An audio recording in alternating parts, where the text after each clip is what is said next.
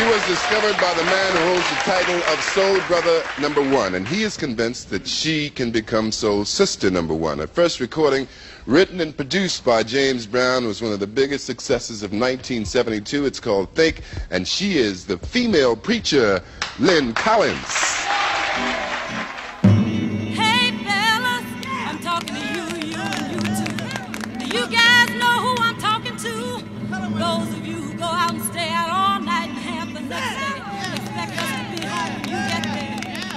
Tell you something, the sisters are not going for that no more. Cause we realize two things, that you aren't doing anything for that we can better do by ourselves. So from now on, we're gonna use what we've got to get what we want.